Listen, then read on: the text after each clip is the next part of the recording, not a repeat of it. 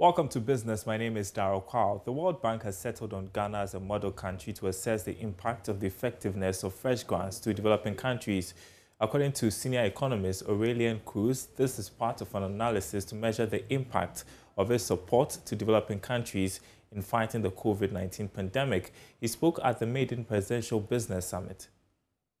The government of Ghana must be doing something right because the World Bank has chosen Ghana as a yardstick to evaluate the efficacy of support to developing countries. Senior economist at the World Bank, Aurelien Kruse, revealed this at the Maiden Presidential Business Summit. That we are embarking on a new analytical task for which Ghana has been selected as a pilot bank wide, namely a country climate development report. This is important because the crisis, for all the hardship it has brought, has also presented us with an opportunity to build back better. And indeed, we believe that uh, COVID-19 recovery measures can play a role in making the recovery more resilient and sustainable, and in allowing Ghana to leapfrog to the frontier in terms of its development path. And again, this effort will have to be facilitated by the state, but driven uh, to a large extent by the private sector. Meanwhile, President Akufo-Addo has reiterated government's commitment to intensify dialogues with the private sector to increase public private partnerships.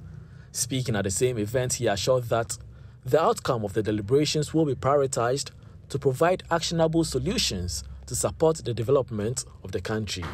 The strong rebound in growth, low inflation rates, the stable currency, the strong reserve position, and FDI flows are clear indications of our collective desire to restore the Ghanaian economy onto a path of sustained stability and growth.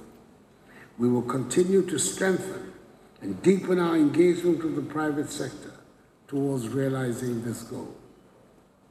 Ladies and gentlemen, the thematic areas and sectors selected for deliberations during this two-day presidential business summit have been carefully chosen to ensure that the outcome would be an actionable business compact with clear commitments from both government and private sector. Vice President of the Ghana National Chamber of Commerce and Industry, Victoria Haja, has charged government to reassess strategies and projects critical to the revival of the economy.